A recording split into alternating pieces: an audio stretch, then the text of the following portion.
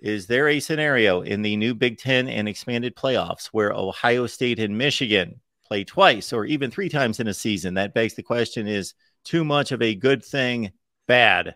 That is absolutely a possibility because that you know the, the one regular season matchup, then the Big Ten championship game matchup, then the playoff matchup, and I, I I don't even know how we'll feel about it until it's here because now we say it's too much, it's too much of a good thing, but each one of those matchups are going to be significant in their own way, and they'll have their own build up, and then maybe the Big Ten championship game it, it, won't necessarily be as big because if both teams are getting in, like if they go in there undefeated, or or you know, I guess even with that, they wouldn't go into the Big Ten championship game undefeated. Somebody's going to have a loss, but as a, as a second loss, say Ohio State beats Michigan two straight times, is that going to knock out a two? lost Michigan team from the playoffs if their only losses are to Ohio State? No. So you, they'll go into that game probably both knowing that they're both going to make the playoffs. So maybe the Big Ten championship game isn't as big as the regular season game or the playoff game, but I think they'll have their own, um, you know, just atmospheres, each of them, and I, I don't, I don't know that it's uh, again. I, I think we'll know more how we feel when we're in it than now. I might, I still think it's they're all going to be very, very big you know, yeah, there's the possibility the teams could play a second time in a Big Ten championship game. And if that happens, the ramifications of that are probably both teams are in the playoff, but the winner will get a bye and the loser will get to host a game, you know, as a five to eight seed, you know. So that's what the stakes of those type games could look like. And then potentially in this, you know, in the, uh, in the playoff, you know, semifinals or championship game or whatever. Could have been the championship game this past year had uh, everything fallen the way that uh, it probably could have and should have. But, uh, you know, um, think about Duke and North Carolina. They played a, an extra game, I think it was last year, not this past school year, but the year before in the Final Four. And as memory serves me correct, the year that there were three Big East teams in the uh, Final Four, way back when Villanova won it, like 1985. I think two of those teams may have played each other four times, twice in the regular season, once in the conference tournament, and then once in the Final Four. I don't recall which matchup it was, but uh, yeah, it was. Uh, you know, I don't think anybody complained when it was Duke and North Carolina in the Final Four uh, in basketball. I think everybody thought, man, this is interesting, isn't it? And uh, another great chapter in their lore, so to speak. Um, I think one of the issues is if there's a rematch seven days later, and okay, you've already we've already proven we can beat this team.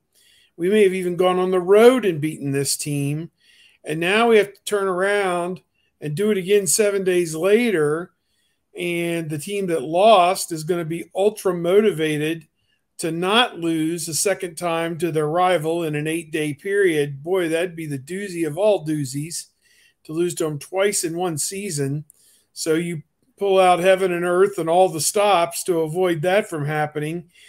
And it negates the first win, which could have even been on the road at the other team's stadium. So, man, I don't know. That's uh, a lot of stuff. The Big 12's been dealing with this with automatic rematches in the last several years because they play a full round robin uh, of nine regular season games, and then there is a rematch with two of those teams playing each other. So you've had Texas and Oklahoma, great rivalry in the rematch in the championship game in some years, and and that's um, automatically dictated as a rematch uh, into this format uh, because it won't be in the Big Ten going forward because there'll be 16 teams and there'll be some buys, but uh, or, or some some teams that you don't play. But uh, so yeah, I think it's interesting. I think you know a lot of different dynamics to it, and uh, one way or the other, you know, somebody's going to come out of that uh, second or third game with uh, some real bragging rights, no doubt about it.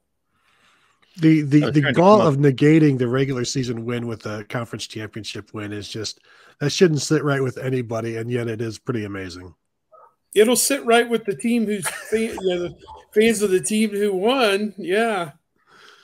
See that banner? We won the won the Big Ten championship we would have had nonstop debate, talk that would have never ended and dissected every play. Had those two met, of course, in the national championship game, had Ohio State won that game, and then you've got Michigan bragging rights.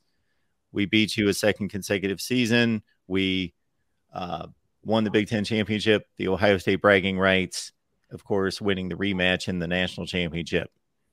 Or even if Michigan doesn't make the national championship, uh, Ohio State wins a national championship without beating Michigan. Uh, I, I, was I was set up for that scenario for the offseason to think, you know, the, the debate between who had the better season, who's got the bragging rights when a team wins a national championship but loses to its rival.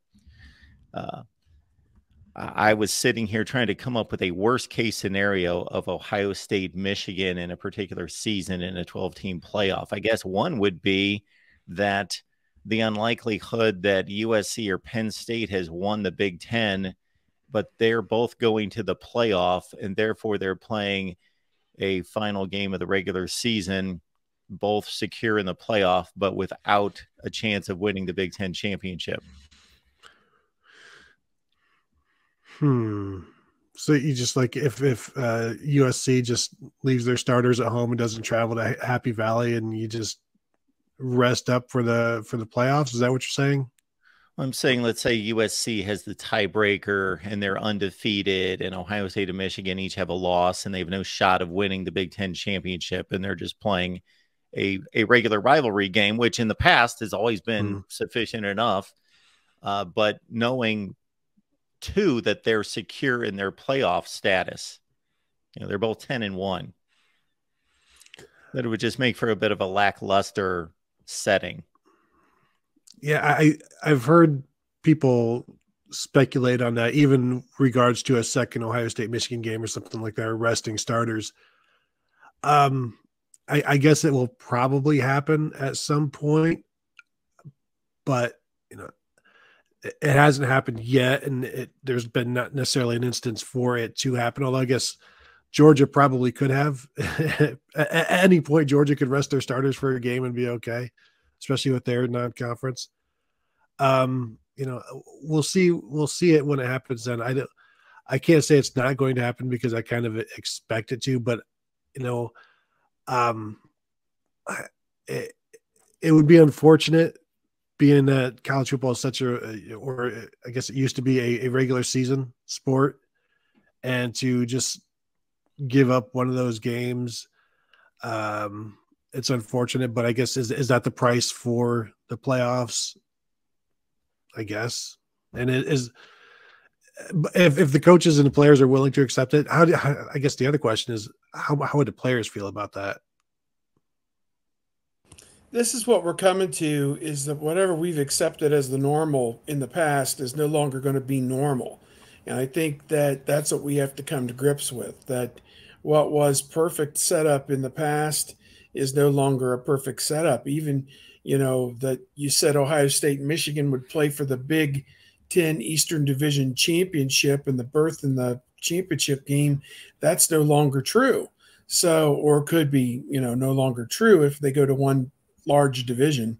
So, um, you know, I guess we just have to come to grips with the idea that it's going to be an imperfect world and there's going to be much more asked of the coaches and players than has ever been before. And what we've always thought should be the end all be all on November the 25th is no longer the end all be all. And that's just going to have to be the fact of the matter going forward that there are truly bigger, bigger fish to fry in the weeks following that game than in that game. So, I mean, it could have some stakes in terms of getting a bye or a home field game or whatever.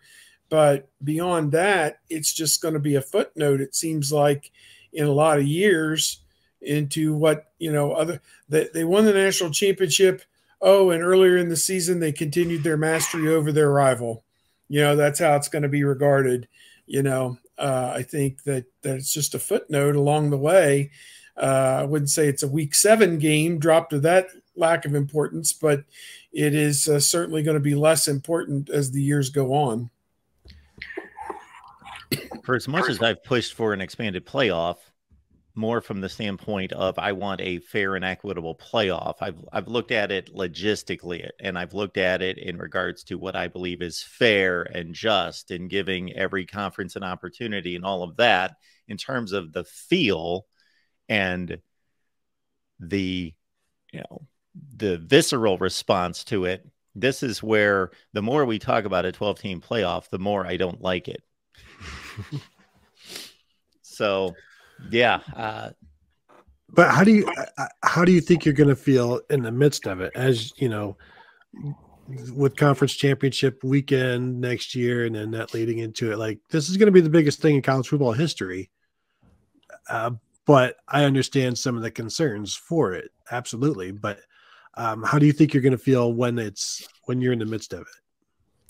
I think some of it will depend on the matchups that we get, and mm. um, I think what has hurt the New Year's Six is the idea that you know you have an ACC champion that's ranked 20th, you know, some year that gets a spot, and um, you know, in the years where the Sugar Bowl doesn't have the uh, the semifinals, they still put an SEC team in there that didn't make the playoff and they could be ranked 15th or 18th or whatever. And it just, you know, those games just didn't catch maybe the imagination. I think if we get what we think are good matchups, five versus 12, let's say, and whatever it is, you know, six versus 11, seven versus 10, and eight versus nine. And they're teams that we believe are good to great teams and they make good compelling matchups. And then you go to uh, the quarterfinal round and you know one versus eight two versus seven or whatever and and they're good compelling matchups and they're not 40 point blowouts then i think that we have something but if there is, as we've seen in some of these recent years, a clear top three or four that would just blow everybody else out on a neutral field or whatever, then you know I think it it may not be what everyone's looking for. But uh, I think that the the opportunity and the chance to put some matchups that we don't normally get to see on the field, I think, is a positive thing. So um, I'm just hoping that people keep an open mind and and um, that we get the matchups that we want and we deserve is kind of kind of how I look at it. And not just different matchups, but in in unique places on campus for those first rounders. Yep, that's going to be cool. Yeah, or cold. Literally and figuratively, it's going to be cool. Yeah. Uh, but uh, I think I think we're in the midst of getting more football. We're going to get more good football, more great football, more bad football. We're going to get the variety of all of that. Um, I do believe that unless things change, we're going to be watching at least my feeling in watching, let's say, Penn State and Tennessee in their current status as a 7 10 or 8 9 game.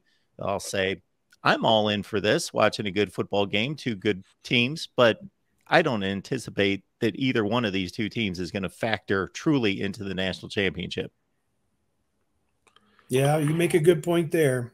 They're just adding. I mean, they went they went from four to twelve for no reason. It could have gone to eight to see how we like it. You know, before they added this extra layer of dumb BS in there with these, you know, cockamamie games on uh, campuses. So um, you know, is what it is.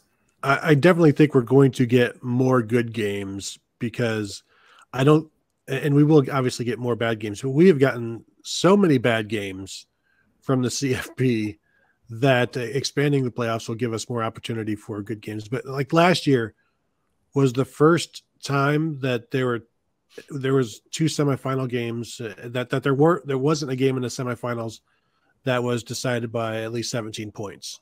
You know, like in terms of both of those games were close. Every other year, there's been at least one game that has been uh, decided by at least 17 points or more in the semifinals.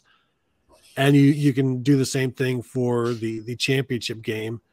Uh, I'm just looking like they're the the you've had three decided by one score, and and that was um, the 15, 16, and 2017 season. Everything else has been multiple touchdowns.